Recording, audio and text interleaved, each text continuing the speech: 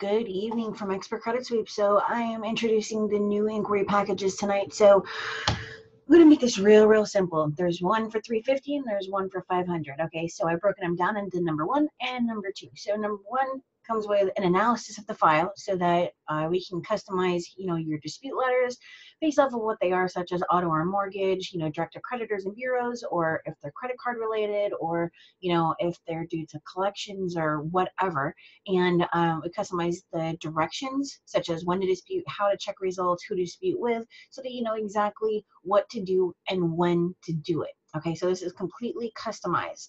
And number two is analysis of the file complete dispute letters, you just stick them in the mail, and everything else is the same. Okay, so analyze and do everything for you. All you got to do is stick it out there with the postage on it. Okay, so that's the difference between number one and number two, link and delivery, and you can see that right down here. So you can click to purchase. This one goes to the 350, this one goes to the 500, and um, it's non-refundable once the analysis has been started, which uh, actually occurs same day or on the next day, depending on when you get us the credit monitoring.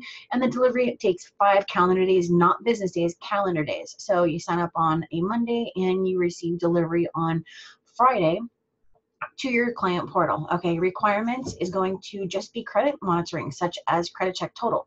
You can use something else, doesn't matter whether Experian or who gives a hoot, but it has to show all the addresses to the creditors or else you won't be able to create those dispute for you, um, you know, for the direct to creditors. So that is basically it, and I'm going to post this video for you guys. Have a great evening.